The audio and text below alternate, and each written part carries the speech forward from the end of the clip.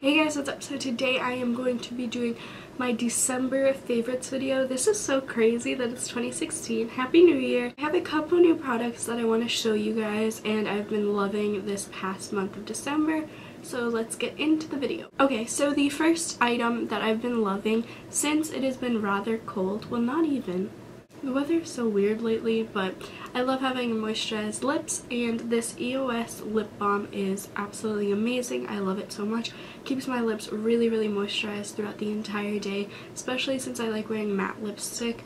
I just put this and then my lipstick on top and it lasts all day and my lips feel moisturized rather than dry. So I love it so much.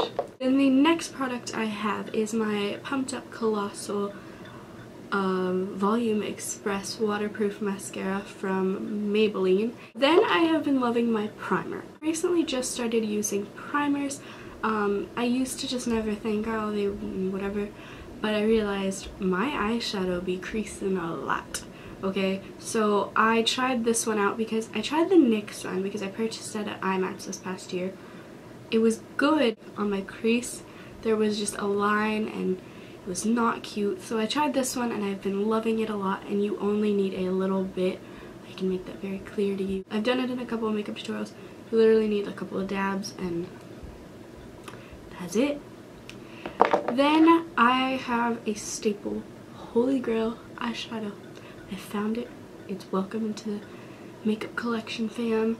The Bobbi Brown eyeshadow in the color Toast. This is such a pretty transition color. I could go on and on, but it is just, it's amazing. This is such a pretty, pretty color. I love it so, so much. I hope the camera's picking it up. It is so, so pretty. I love it so much. And then, I did a review on this makeup remover. I love it. It is so gentle and you literally just need a cotton round and this and you will literally have no residue of any type of makeup. And the last product I've been loving are these Sephora face masks. I used the eye ones as well. These are so moisturizing. I love them so much. Me and Jasmine actually FaceTimed and we did them over FaceTime. They are so nice after you remove their, your makeup. It is such a nice treat for your skin.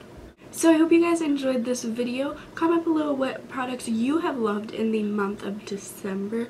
2015 because now it's 2016. This is so crazy. This year I can truly, honestly say flew by very, very fast. So yeah, I hope you guys enjoyed this video and I will talk to you guys later. Bye!